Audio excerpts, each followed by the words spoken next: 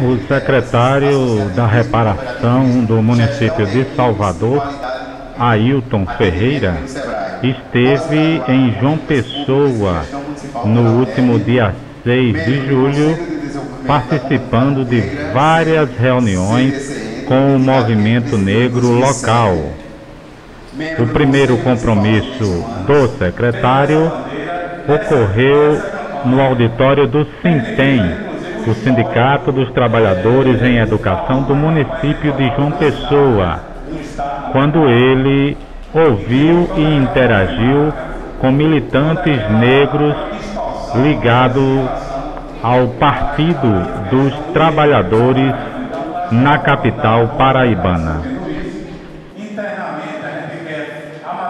O jornalista Dalmo Oliveira representante do Fórum Paraibano de Promoção da Igualdade Racial, explicou qual era a intenção de trazer o secretário soteropolitano para um diálogo com a militância na Paraíba, na intenção de fomentar e empoderar os militantes no sentido de que João Pessoa passe a ter sua Secretaria Municipal de Reparação e Promoção da Igualdade Racial.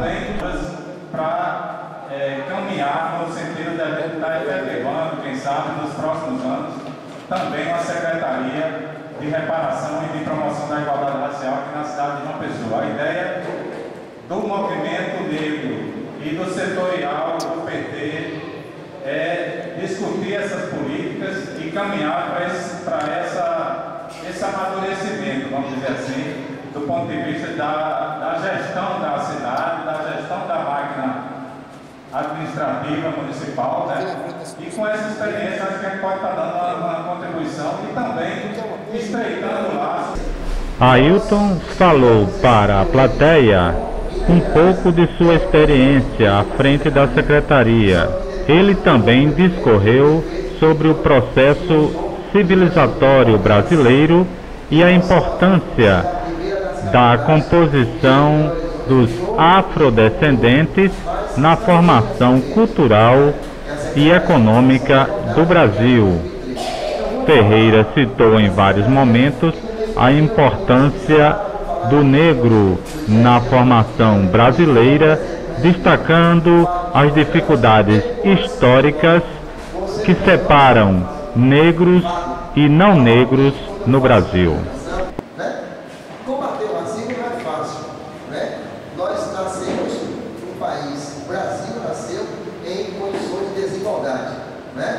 O Brasil nasceu com um grupo que veio para mandar e outro grupo que veio para obedecer.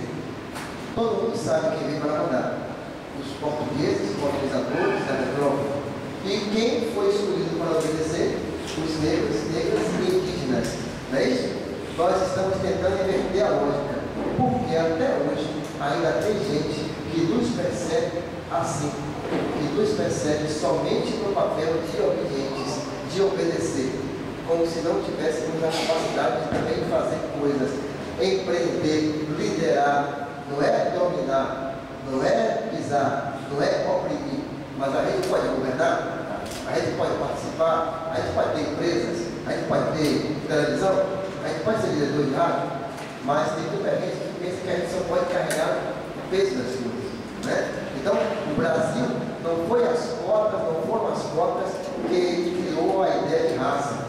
Porque tem gente que diz, ah, esse negócio de vai racializar o Brasil. Não, o Brasil nasceu racializado. Todo mundo sabe quem veio mandar, todo mundo sabe quem veio obedecer. O Brasil nasceu com dois tipos de gente, pelo menos dois tipos. Um de primeira e outro de segunda. Quem compra a carne no açougue sabe que é carne de primeira e carne de segunda. Só que nós não estamos no açougue chamado Brasil. E nós não somos carne de primeira e de segunda. Todos somos carne de primeira. O divino Deus nos fez todos de primeira. Mas tem gente que não entendeu ainda isso. Não é perversidade pessoal, não. É, nós aprendemos assim. Como aprendemos que lugar de mulher na cozinha. Salvador tem 79,4 79,4 de negros e negras. Mas nós nunca elegemos um prefeito negro nem negro.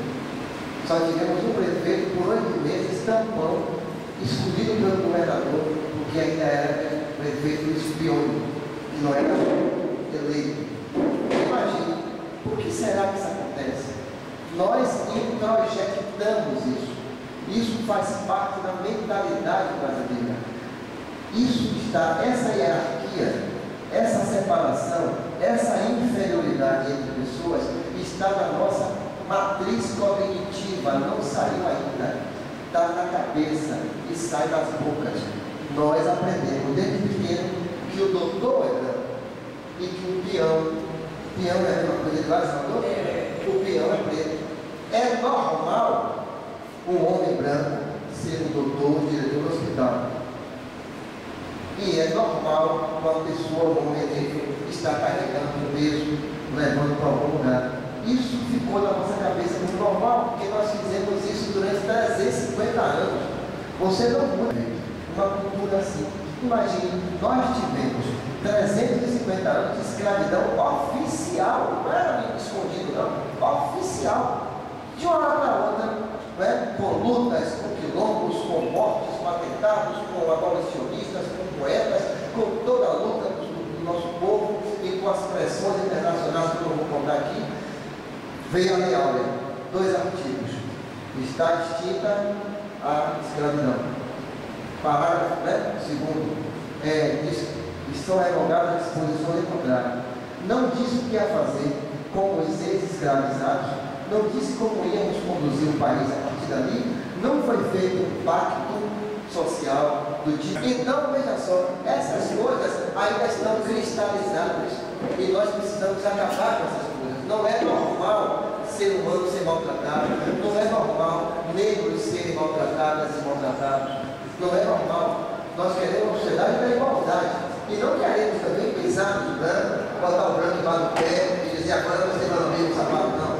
Eu concordo com o Noel, de Olinda, o bispo de Olinda, que enfrentou a ditadura, Noel dizia, em oração a Mariama, lá em Colombo Pedro Casadalho, no Araguaia, ele dizia, nada de escravos de ontem querer ser senhor de escravo de hoje. O mundo não precisa de escravos, nem preto nem branco. O secretário de Salvador deixou claro que a sua secretaria só existe pela pressão feita pelos movimentos sociais negros da cidade de Salvador. Ele destacou a importância da realização da terceira Conferência Mundial contra o Racismo, Xenofobia e Discriminações Correlatas, ocorrida na cidade de Durban, na África do Sul, em 2001.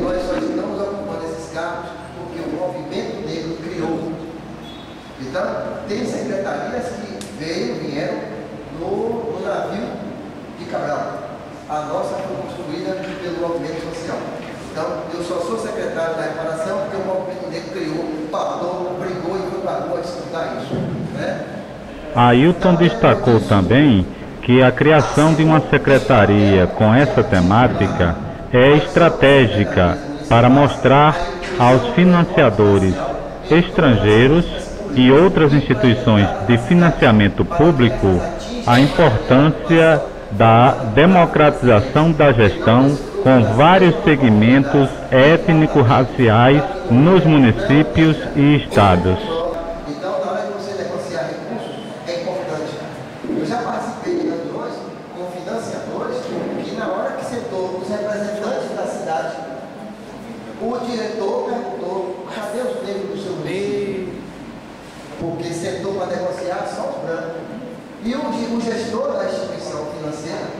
sabe como é a cidade brasileira e perguntou, mas prefeito, todas as reuniões que a gente marca só vem os brancos, na sua cidade não tem negros. Aí dá, dá um mal-estar. Então hoje, até para ser, vamos dizer assim, estratégico, não é para ser bonzinho, piedoso, é para ser estratégico, competitivo. Na hora que o senhor senta com a mesa, ou que o senhor viaja com a comitiva para Brasília, ou para os Estados Unidos, para negociar alguma coisa, ou questões ambientais, etc., ou para a implantação de alguma indústria, o senhor senta com quatro assessores, aí o cara tem uma mulher, um negro, um branco, uma coisa, que pelo menos tem equidade. Pelo menos esse prefeito dialoga com a comunidade real, com o mundo real. Ele está cercado de pessoas de todas as cores. Então ele, ele como o senhor chega só com, com gente com a gente só, ele é cantar e cadê o resto do seu povo? Que não ocupa? Né? Então é importante que a cidade esteja estrategicamente colocada. O mundo mudou, o mundo é globalizado e está todo mundo olhando a gente. A internet. O secretário falou do exemplo do projeto Essa Pode Ser a Sua História nas escolas municipais de Salvador, que busca empoderar e aumentar a autoestima dos estudantes afrodescendentes no ambiente das escolas públicas do município daquela cidade. Essa questão no eixo central da discussão. Nós somos 52% do Brasil. Se a gente cuidar do negro ou da negra, a gente está cuidando da maior parte da população. não é? Ailton falou também da experiência com o Observatório Racial que a sua secretaria realiza durante o período carnavalesco em Salvador. Então, o observatório nasceu em 2006, na primeira gestão do atual prefeito, nós estamos na segunda gestão, encerra agora em dezembro. E observamos lá, 80% das violências teve a participação de negros, ou batendo ou apanhando. E violência policial contra a população negra. O, a- o dinheiro do carnaval de Salvador, que é uma beleza, não fica com a comunidade negra. Quem faz o ritmo, quem faz a música, quem faz a dança, quem faz as cores, quem atrai vocês para ir para lá é a cultura africana. Mas quem faz a cultura africana fica com isopor, vendendo queijinho, churrasquinho, né? segurando as cordas dos blocos. E a elite, né? classe média branca, é quem toma conta das ruas, é quem desfila nos clubes e é quem ganha dinheiro. Então criamos um observatório para ver onde está a comunidade negra do carnaval, o que ela faz, quanto ela ganha, né? como saem os blocos afros em Salvador, com a maior dificuldade. Ele também destacou o trabalho de capacitação de jovens para primeiro emprego na cidade de Salvador, fazendo diminuir o racismo institucional nas empresas, principalmente nos shopping centers daquela cidade. Quando o cara diz assim, não, secretário, nós não recrutamos porque não tem capacidade. Eu digo, então a gente vai preparar. Aí já chama o Sebrae, o Senac e começa a dar curso para a galera. Como se vestir, marketing pessoal, como se postar, a roupa que vai para uma entrevista, dar curso de fazer o custo, custo de produtos, atendimento ao cliente, não sei o que lá, dá um de curso básico para segundo grau. E aí manda um currículo junto com as empresas. E aí eu sei com os empresários digo assim, olha, agora nós temos aqui esses jovens, tem segundo grau completo, foram treinados pelo Sebrae e tal, e a gente faz um banco de dados e oferece. Então não vai poder mais dizer que não está capacitado. Nem vai me chamar de feio, radical, que eu não sou.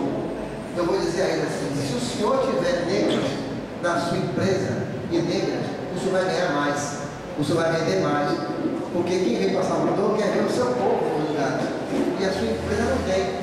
Então, quando a empresa tem gente de todo tipo, ela dialoga com o mundo, porque o mundo tem gente de todo tipo. E para o empresário, o empresário não quer saber de doação, o empresário quer saber de ganhar dinheiro. O empresário bota o negócio para ganhar dinheiro. Eu tenho que dizer para ele que isso vai fazer ele ganhar mais dinheiro. Eu tenho que dizer para ele o seguinte, empresário, se o senhor tiver deficiente, preto, amarelo, branco, a sua empresa vai ser melhor vista pelo mercado. E o que lhe interessa é o mercado.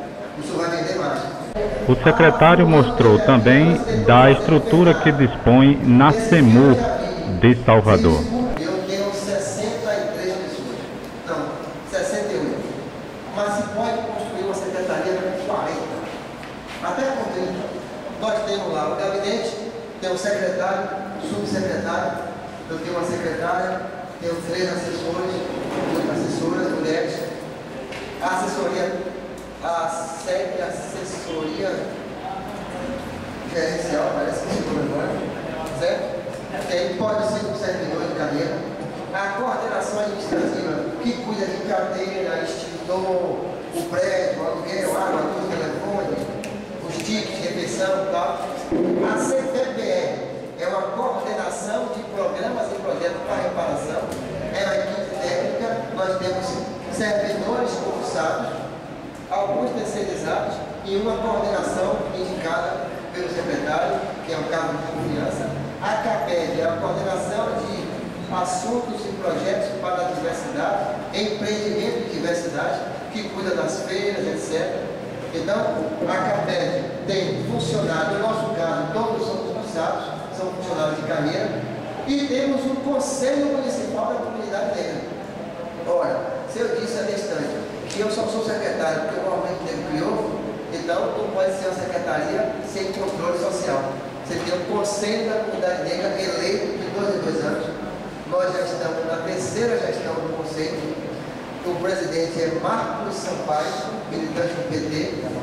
E o Conselho é formado de quilombo, quilômetros educacionais, terreiros de candomblé, irmandades católicas, evangélicos negros, maçonaria negra, irmandade dos suplentes, grupo de capoeira, mulheres negras. Então, é um grupo que forma um conselho que reúne com a gente, fiscaliza, cobra e nós, na nossa gestão, criamos uma sala que o conselho não tinha.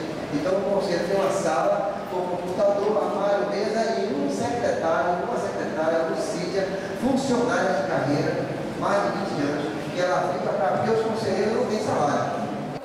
Muito grande essa, esse fenômeno Copa do Mundo e Olimpíada. No sábado, dia 7 e domingo, dia 8, o secretário Ailton Ferreira ainda realizou reuniões com vários segmentos do movimento negro paraibano, conhecendo de perto a realidade dos ativistas em João Pessoa.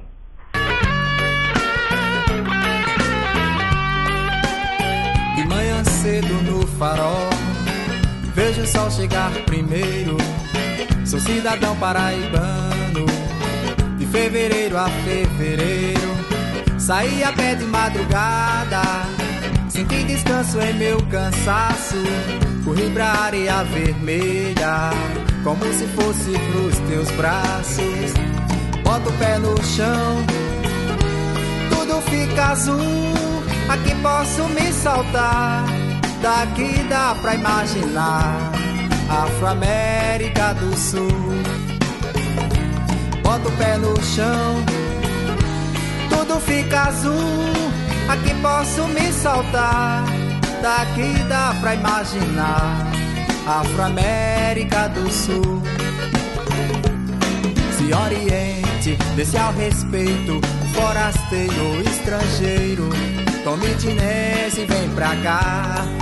Daqui dá pra ver a África, daqui dá pra ver a África, daqui dá pra ver a África, daqui dá pra se soltar. Daqui dá pra ver a África, daqui dá pra ver a África, daqui dá pra ver a África, daqui dá pra se soltar.